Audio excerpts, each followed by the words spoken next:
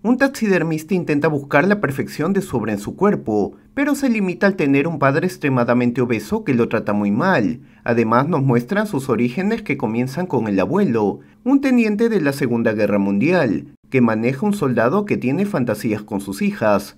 Una película dividida en tres generaciones de una familia con toques de surrealismo y con partes que pueden desagradar a cualquiera, por lo que no es recomendable para todo público. La película también es una metáfora de la historia de Hungría, desde la Segunda Guerra Mundial hasta la actualidad, con escenas muy fantasiosas y visualmente impactantes. Sin duda puede competir con el Cien Pies Humano por lo repulsivo. Sin más preámbulo, les doy la bienvenida a Loco for Movies, resumiéndoles en esta ocasión Taxidermia. La película comienza con un hombre de negocios, aclarando un grupo de gente que no fue parte de la creación que observan, pero si no fuera por él nadie se hubiera enterado ni conocería a la Josca Balatoni, ni siquiera quiénes fueron sus padres y abuelos.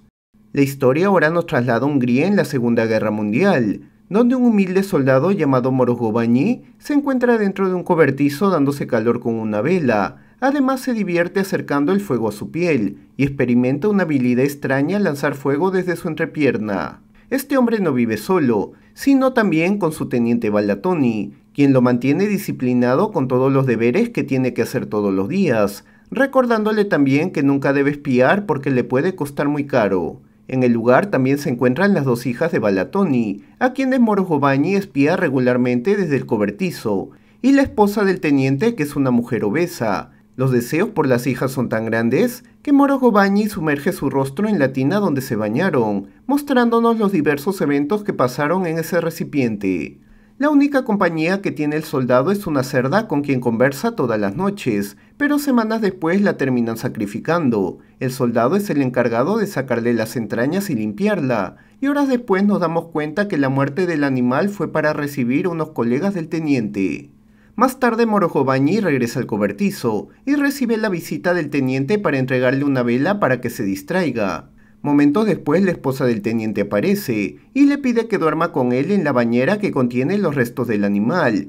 Morogobaño obedece y ambos terminan pasándola bien.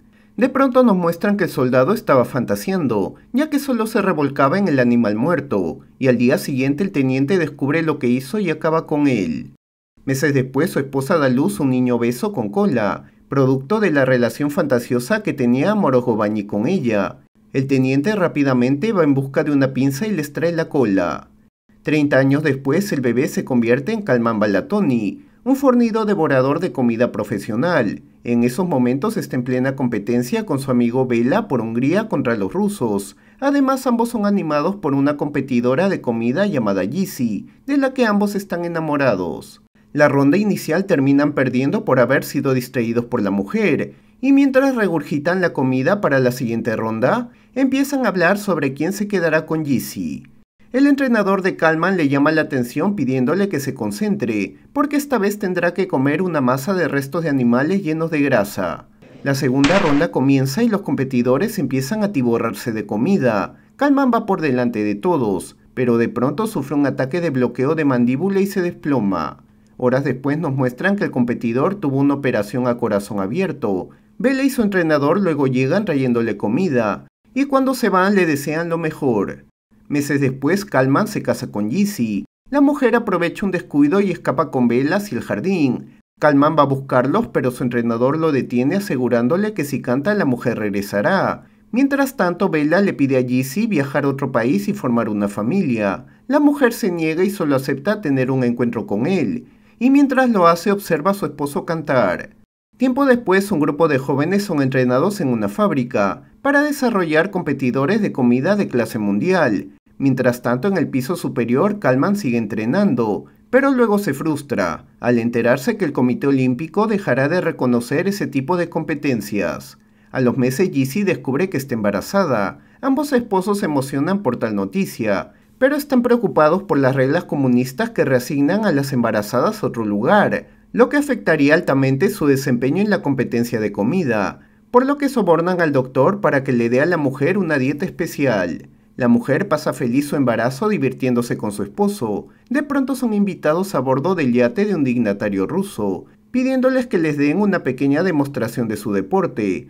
Los esposos aceptan y les sirve más de 40 kilos de caviar para terminarlos en 20 minutos. En el descanso, Jissy empieza a sentirse con malestar y preocupación porque eso afecte su embarazo. Calma la anima a seguir compitiendo recordándole sus victorias anteriores. La mujer acepta y ambos regresan para seguir comiendo, pero al llegar a la cena la mujer se termina desmayando. Semanas después da luz un varón. Pasan otros 30 años. Esta vez conocemos a la Josca Balatoni, un taxidermista extremadamente delgado, un hombre dedicado a su trabajo que tiene en su taller gran cantidad de animales. Al salir se dirige a la tienda de comestibles para comprar gran cantidad de mantequilla y chocolates. Además coquetea con la cajera a pesar que la mujer no le toma interés. La Josca luego llega al apartamento de su padre Calman, que ahora es una gran masa de carne sin forma. Luego abre unas rejas de hierro para alimentar a sus gatos con cubos de mantequilla ya que los chocolates son para su padre quien constantemente lo trata mal, especialmente porque es muy flaco. Calman está feliz de ver cómo aumentan de peso sus mascotas, pero no puede tocarlos porque su peso se le impide. También se divierte viendo las competencias de comida, donde se enoja al ver que su ex esposa Jessie es la entrenadora de uno de los competidores. Al día siguiente, la Josca regresa al taller y recibe la visita de un hombre de negocios, este le entrega una bolsa, diciéndole que no sabe si lo que está dentro es salvaje doméstico. La Josca lo observa y acepta el trabajo. Más tarde el hombre pasa de nuevo por la tienda para comprar la comida, pero cuando llega al apartamento de su padre vuelve a recibir malos tratos. Esto lo enoja y lo abandona diciéndole que se atienda solo, sin darse cuenta que la jaula de los gatos le está dejando abierta. Ahora con más tiempo la Josca aprovecha en entrar al gimnasio para fortalecer sus músculos. Más tarde regresa al taller y empieza a trabajar el pequeño cuerpo que el hombre de negocios le dejó. Días después llega a la tienda y vuelve a comprar mantequilla y chocolate para su padre, descubriendo que la cajera ha sido reemplazada por un hombre. Al llegar al apartamento descubre que algo anda mal. La TV está prendida y la jaula de los gatos está abierta. Además, estos han acabado con su padre haciendo un agujero en su barriga. Incluso sus entrañas conducen hacia la jaula, donde dos de ellos están completamente satisfechos. La Josca luego lleva a su padre al taller y lo prepara para disecarlo, rellenando su estómago de paja a través del agujero que hicieron los gatos. Luego se coloca dentro de un artilugio que preparó, donde un líquido fluye a través de unos tubos, y con ayuda del escalpelo corta todas las entrañas y las retira de su cuerpo, ayudado de espejos y palancas, con sus manos temblorosas termina cerrando todo su torso. Al ver que todo está finalizado, presiona un botón activando dos cuchillas, una que pasa por su cabeza y otra que va a la mitad de su brazo. Horas después el hombre de negocios llega a la tienda y encuentra su trabajo terminado. Contento saca el pago dejándolo en la mesa, pero luego cambia de opinión y decide aventurarse en la tienda buscando a la Josca. Y al llegar al sótano se sorprende, al ver los restos del taxidermista y de su padre. Días después realiza una conferencia en una galería de arte, donde cuenta que encontró a la Josca en una especie de artilugio, una máquina que lo mantenía con vida pero terminó acabando con él, para luego volverlo nuevamente a la vida, refiriéndose a la forma en que quedó el hombre, agregando que vio cómo la máquina sostenía su corazón y la forma como se hizo los cortes que acabaron con él. Además aclara que nunca podrá describir la sensación que tuvo el hombre antes de morir. Luego nos muestra dos exhibiciones, una de Calman con pantalón dorado y piel de gato sobresaliendo de su vientre, y el cuerpo de la Josca que más se asemeja al David de Miguel Ángel, a los cuales define como arte, dando por finalizada la película. La explicación del final desde mi punto de vista, aparte de ser una película muy repulsiva, nos muestra el rechazo del estilo de vida contemporáneo usando metáforas. En el caso del abuelo, el tema de la gente que quiere vivir un mundo de fantasías en vez de afrontar su realidad, refiriéndome a Morojo Bañi porque embarazó imaginariamente a la esposa del teniente. El padre, el tema de la alimentación excesiva sin medir las consecuencias. Y por último el hijo, la importancia que se le da a personas muertas que a mucha gente necesitada, refiriéndome a los cuerpos en la galería de arte.